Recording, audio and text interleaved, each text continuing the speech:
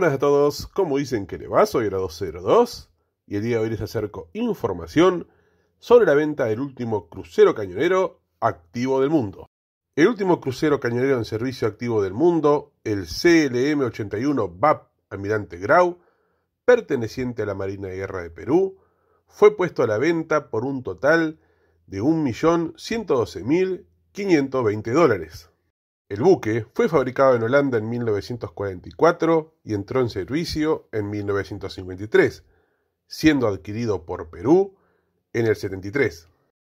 Tiene un desplazamiento de 12.000 toneladas, una velocidad de 12 nudos, gracias a dos turbinas y dos hélices, con una autonomía de 6.900 millas náuticas. Sus medidas son de 187 metros de eslora, 17,2 de manga, 6,65 de calado, con una tripulación de 600 marinos. Y entre sus armamentos se destacaban los cuatro cañones navales Beaufort M42 de 152 milímetros. Con respecto al blindaje de su coraza, varía entre los 50 y 125 milímetros, mientras que en la cubierta de 20 y 25 milímetros, que lo convertían en el buque de guerra mejor blindado de América Latina. Entre 1985 y el 88 fue modernizado por radares y nuevos directores de tiro, así como sistemas de guerra electrónica, además de ocho misiles antibuques, Otomat MK2 y cañones Otomelara 40-70 mm.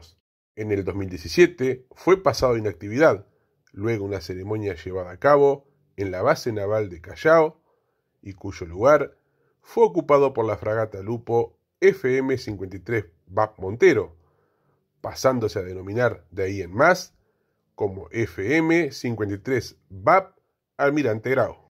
Si bien en un principio se pensó convertir en un museo flotante, dicha iniciativa no prosperó, terminándose su ofrecimiento para la venta en peso.